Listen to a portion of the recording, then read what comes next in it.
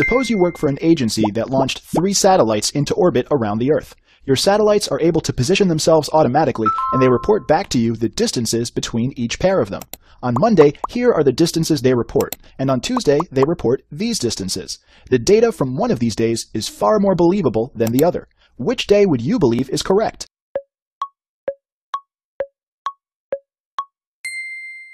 Excellent work! Together, these three satellites form a triangle, and the lengths of this triangle's sides, meaning the distances between the satellites, must obey the triangle inequality.